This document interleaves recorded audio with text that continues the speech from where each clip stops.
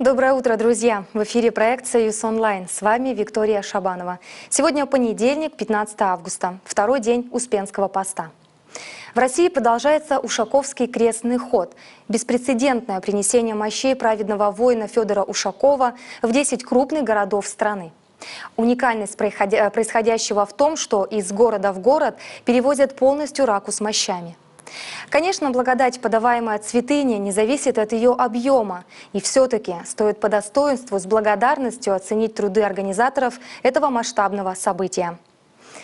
Конце минувшей недели прославленного флотоводца мощи были перевезены из Санкт-Петербурга в Воронеж. В воскресенье раку со святыни доставили из Успенского Адмиралтейского храма в Благовещенский собор, где она будет находиться до 8 часов утра вторника 16 августа, то есть до завтрашнего утра. Все это время собор будет круглосуточно открыт, у святых мощей будут совершаться молебны праведному Федору. Затем святыня отправится в Ростов-на-Дону. Напомню, что место постоянного пребывания останков великого флотоводца – Санаксарский монастырь в Мордовии. Моя коллега Валентина Пас побеседовала с его настоятелем, когда святыня находилась в Казанском соборе Санкт-Петербурга.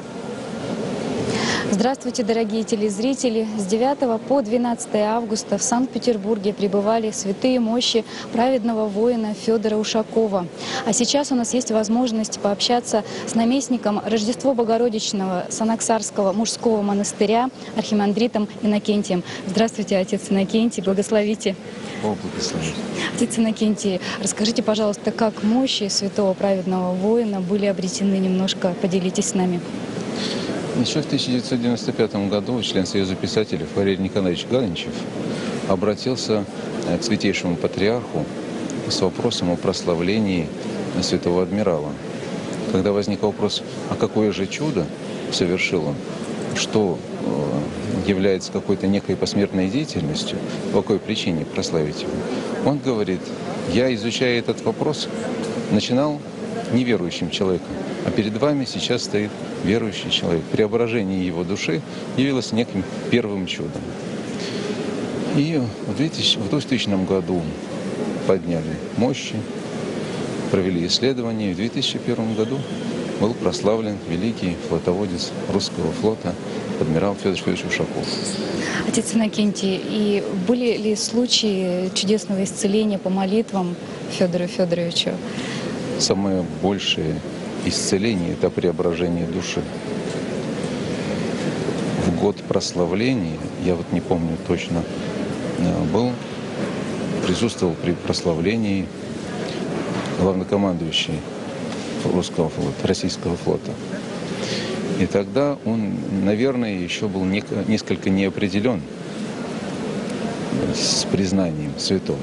По нему было видно, что он как бы не совсем готов, наверное, признать, признать его святым. Но через два года, когда он приехал, было видно, что человек совершенно преображен, он уже молился, крестился. Было видно, что в нем сияет вот этот цвет веры. Это чудесно, слава Богу. Отец Иннокентий, несколько городов э, по маршруту, э, по мощи будут следовать по маршруту, в нескольких городах будут пребывать. Будете ли вы сопровождать? Обязательно везде. Везде. Мы э, выехали из Санаксарского монастыря, и первый город в нашем пути был Тутаев, бывший Романов Борисоглебск. Затем Рыбинск.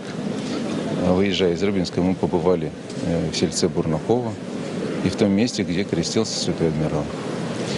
И приехали в Петербург. Сейчас отправляемся в Воронеж, потом Ростов-на-Дону, Краснодар, Новороссийск, Керчь, Симферополь и венец нашего шествия Севастополь, город-герой.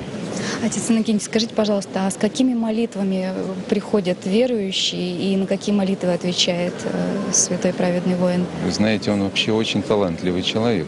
И в своей жизни он известен как первую очередь заботливый отец для своих матросов, талантливый руководитель, государственный деятель. Он написал конституцию для новообразованного им государства Республики Семианических островов. Создал для этой структуры все, что необходимо, вплоть до того, как они, на что они будут жить. Всю, всю инфраструктуру. Поэтому, э, наверное, обращаться к нему можно ну, во всех случаях. Но особенно мы обращаемся к святым, потому что их любим. А эта любовь ходатайствует во всем остальном. Спасибо большое, отец Иннокентий. Для нас пребывание мощей Святого Праведного Воина – это настоящий праздник. Мы очень рады, что это случилось, и Казанский собор нашего города принимал святые мощи. Я думаю, святой воин Федор бывал здесь. Наверное, обязательно бывал. Поэтому это символично. Тогда и сегодня. Благодарим вас, спасибо большое. Уважаемые телезрители, напоминаю вам, что мы беседовали с наместником Рождество Богородичного Санаксарского мужского монастыря архимандритом Иннокентием. С вами были Валентина Пас и Сергей Пономарев. До новых встреч. Эфир телеканала «Союз» продолжается.